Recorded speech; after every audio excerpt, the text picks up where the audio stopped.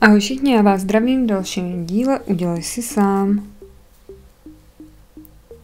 No a dneska je tady nový video ze stolou, protože myslím, že stola by potřebovala nový outfit.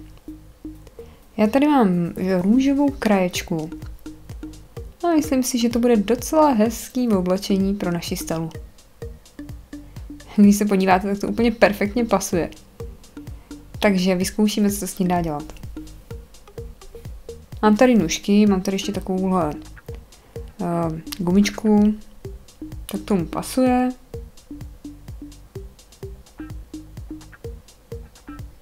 Takže tu starou sundám.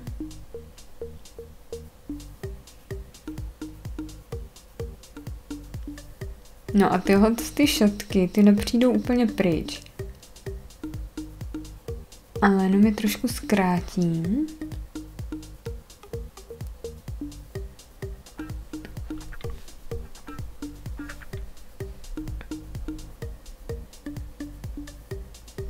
Tak a uděláme takový mini šaty, to bude hezčí, šmrncovnější.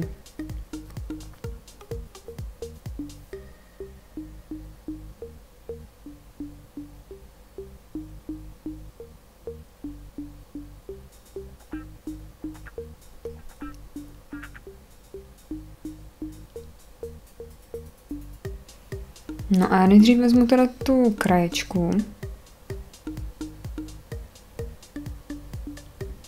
A hezky to tam takhle upevním.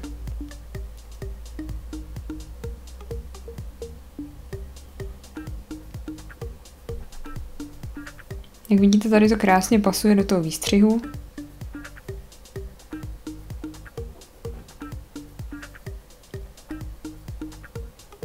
Tak teď to potřebujeme samozřejmě zkrátit.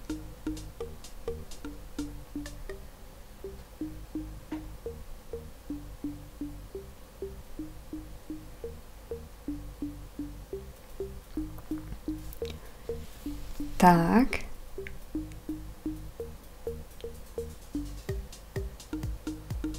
No a teď přijde gumička na řadu.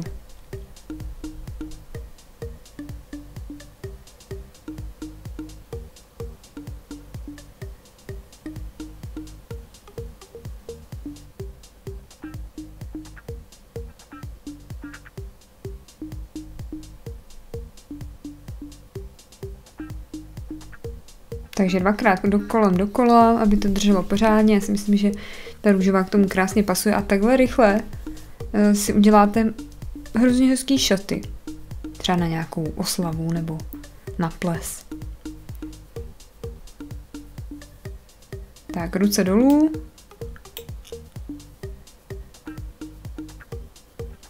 Už je to skoro hotový, ještě tohle trošku doupravím.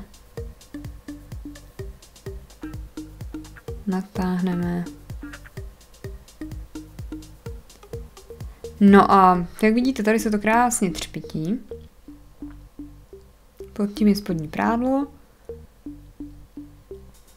No a dole prostě zůstala ta krajka. Takže takováhle krajka úplně perfektně pasuje na tu figurku a fakt jako takovýhle nádherný šaty se z toho dají udělat. Musím říct, že docela je stále závidím, protože takovýhle šaty bych docela na ples brala nebo na nějakou party nebo oslavu.